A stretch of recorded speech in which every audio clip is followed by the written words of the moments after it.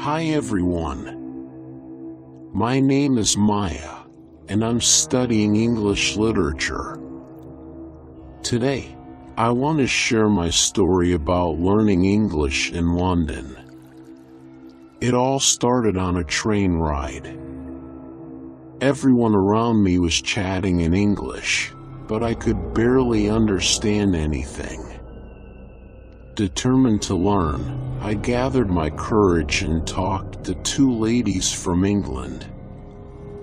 My English wasn't very good, but they were kind and even gave me their contact information. This gave me a real boost.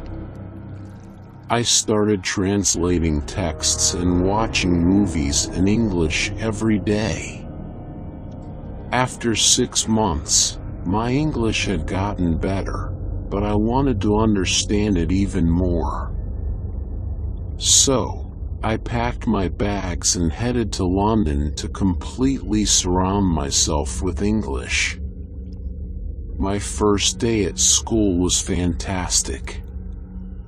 My teacher, unlike others who relied heavily on books, wanted us to actually talk to each other we discussed how language is a tool we use to share our ideas and connect with people. Our lessons focused on speaking English every day and using it in real situations, not just memorizing things from textbooks. We learn through conversation, Unlike some students who focused on learning lots of words and grammar rules, but never actually spoke English. This method made a lot of sense to me, because textbooks often confused me. Our teacher explained that the best way to learn is to practice all the time, not just memorize stuff. The next day, a classmate from South Korea asked about the best way to learn new words. Our teacher, emphasizing the importance of reading, suggested reading something interesting in English for at least 30 minutes every day. She gave us some helpful tips to get the most out of reading. Pick interesting stuff, Choose books or articles that you actually enjoy, whether they're stories or factual information. Don't pick boring stuff that will make you lose interest quickly. Use a dictionary. Whenever you come across a word you don't know, look it up in a dictionary to understand it better. This will help you remember the word without having to force yourself to memorize it.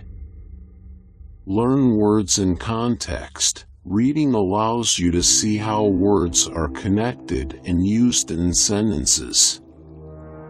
This natural way of learning is much more effective than doing isolated vocabulary exercises.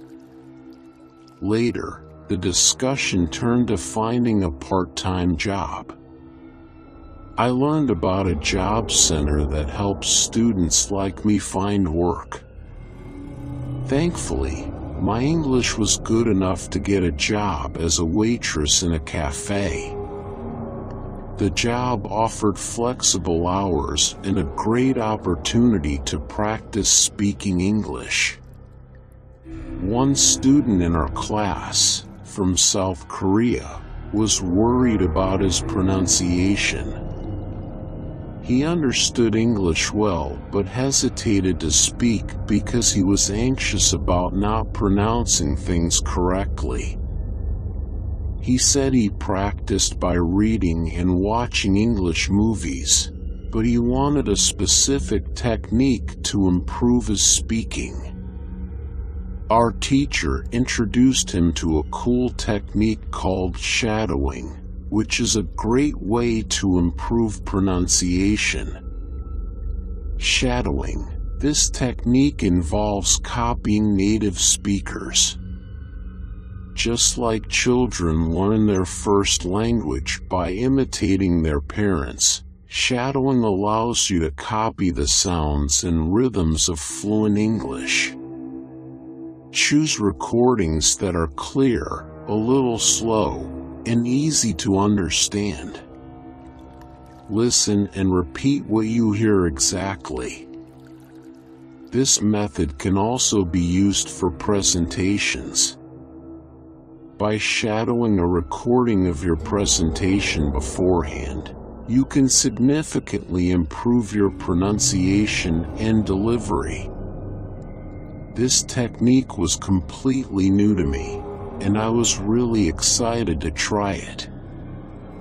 Another day, we welcomed a new student named Isabella from Italy. Everyone was impressed by her fluency and beautiful pronunciation. When asked about her learning methods, Isabella revealed three key techniques reading, shadowing, and thinking out loud. Thinking out loud, a technique I hadn't heard of before, really caught my attention. Our teacher explained. Thinking out loud, this technique involves actively saying your thoughts in English as they come to you. Start with simple sentences and gradually make them more complex as you get more comfortable. Although it might feel strange at first, doing this regularly can significantly improve your fluency. Isabella shared her experience. Thinking out loud wasn't easy at first. I started with basic sentences like I can speak English. This is good. But the biggest challenge was turning my complicated Italian thoughts into simple English. After a while, though, thinking in English became natural. This newfound fluency allowed me to have a conversation with a tourist from Australia, even though I was a beginner at the time. Inspired by Isabella's story, I was determined to try thinking out loud too. Here are the key things I learned from my experience in London. Read something interesting in English for at least 30 minutes every day. Use a dictionary to understand new words you encounter while reading. Shadow native speakers to improve your pronunciation. Think out loud to boost your speaking fluency. Practice each technique, reading, listening,